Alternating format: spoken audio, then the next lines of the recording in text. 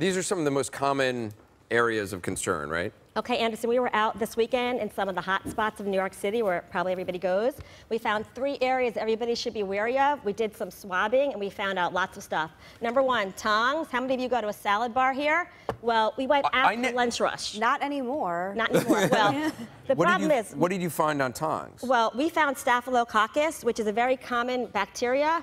But the scary part was it was after the lunch rush at a very popular place that many of you go to. And the food worker came and he changed all the tongs out. Okay, so you think everything was clean, but he had a glove on, and I noticed that his glove didn't look too clean. So although the tong was clean, because of the glove, this was we had actually a lot of staphylococcus on this. So st- that's what causes staph infections? Exactly. And see, uh, now at salad bars, I, I salad bars freak me out in general because I always think people sneeze, and even though they have that that guard, I always assume it's the food. I never really think about the tongs. Actually, it's the tongs, but also the people putting out the tongs, the food workers, is really more important.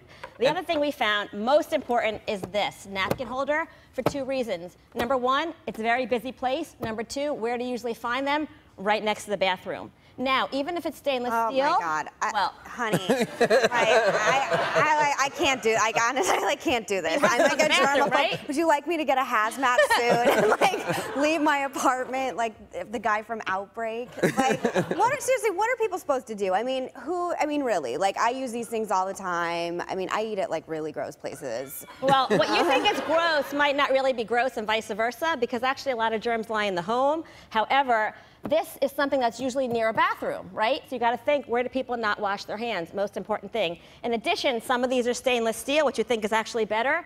Do you know that staph can live on stainless steel for up to four days, depending upon You're how much is on scaring there? me. So what? So what are you? What are you supposed to do? Just not touch the actual thing? That's what actually food service workers are trained to do. They're trained to turn everything on and off with a napkin and paper towel and stuff like that.